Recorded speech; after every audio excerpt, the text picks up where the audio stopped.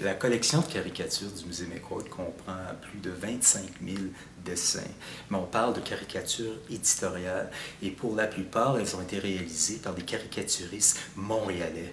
Alors on a mis l'accent sur Montréal dans cette exposition-là. On parle de thèmes internationaux, mais euh, sous le regard d'artistes montréalais. C'est très important pour nous.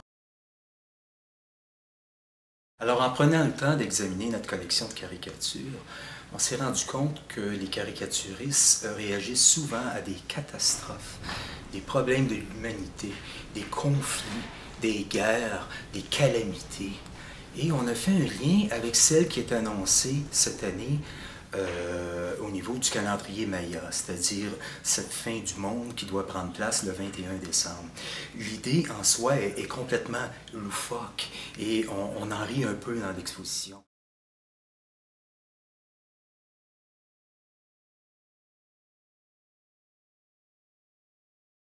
Un caricaturiste, c'est un journaliste mais qui va exprimer son commentaire euh, à l'aide d'un média graphique.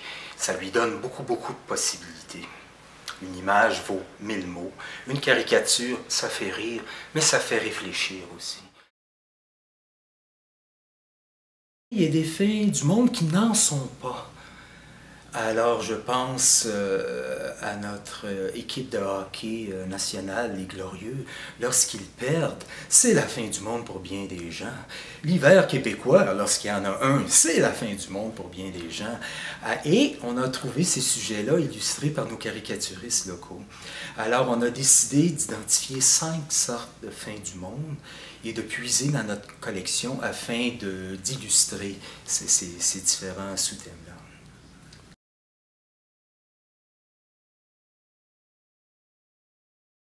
Mon coup de cœur pour cette exposition-là est ce magnifique dessin de Arthur Racy, caricaturiste montréalais du début du siècle, qui, euh, a travaillé pendant plus de 40 ans au Montreal Star. Euh, ce dessin représente euh, l'ange de la paix ici, avec une colombe, avec la branche d'olivier. l'ange semble flotter sur un lit de coquelicots. Et on voit une croix. Alors, ce dessin-là a été publié pour le jour du souvenir en 1940.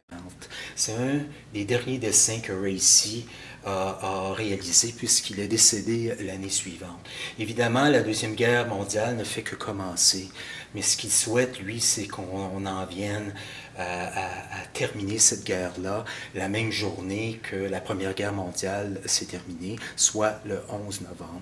Alors, euh, évidemment, ce qui est étonnant, c'est de voir ces colonnes de fumée-là euh, à l'arrière-plan, mais il ne faut pas oublier qu'à l'époque, euh, l'industrie et ses cheminées représentent une bonne économie. Donc, c'est le bonheur et c'est ce qu'il désire, c'est ce qu'il montre dans cette image-là.